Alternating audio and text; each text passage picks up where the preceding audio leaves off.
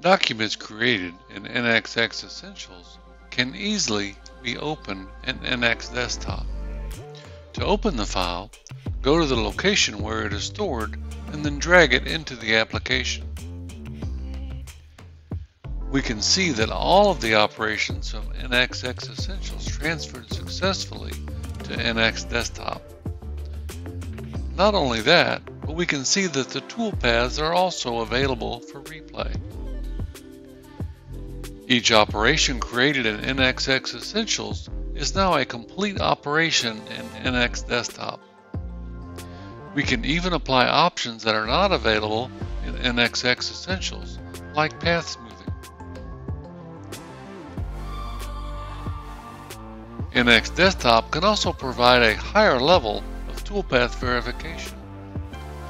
We can use that to see simulated material removal during the machining process.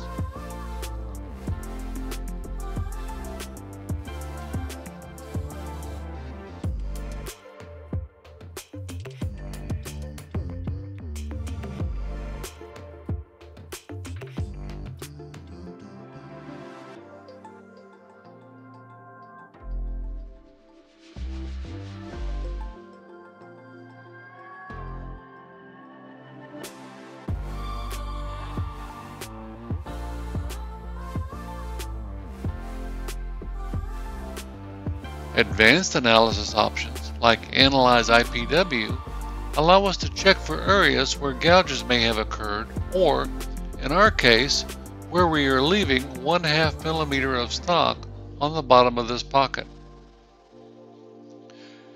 No problem, we can fix this immediately without the need to return to NXX Essentials.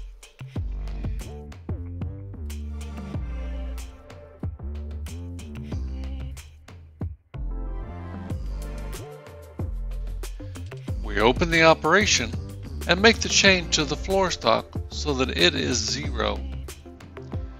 We then generate the toolpath again and the problem is solved.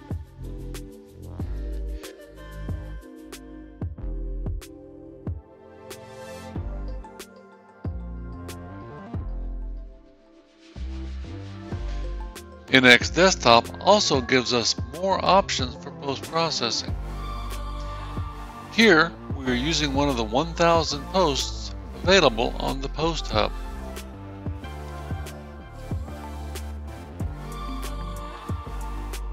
Our output looks very good for our Siemens controlled machine.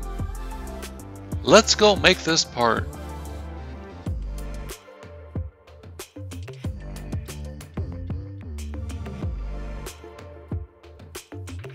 Thanks for watching.